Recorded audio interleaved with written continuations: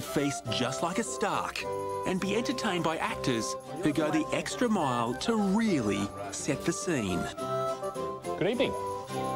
Who are you, sir? I'm uh, Chris Stark. Hopefully I won't be needing this. Sit.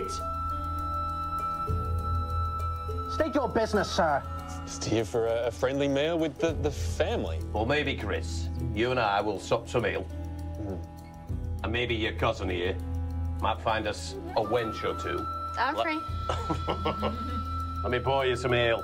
That's a small issue because I've been told that Drink sometime- it, Chris. sometimes when you give me a cup, sometimes it may not actually be what you say it is and it may end up with me being... "Ugh." Are you trying to say that I might kill you, Chris? Well, Drink it. Cheers. do you mind if we just do a little... Well, in that case, I'll take his. Has everybody swapped the glasses? I guess I really do need to watch my back around here. Go with it. You know, the world of the Seven Kingdoms just feels so real. I think it's best not to chance it. Cheers.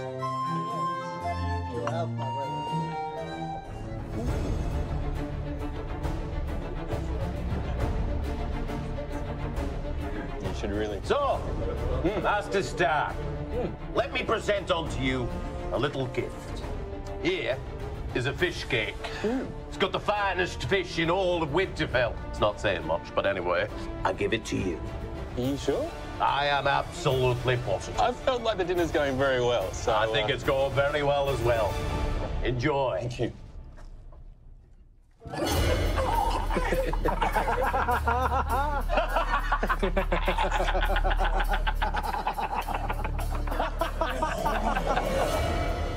oh, that is hot.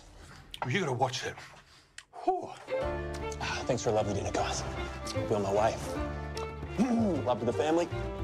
Oh, Jamie, you put too much salt in it. You've ruined the dinner.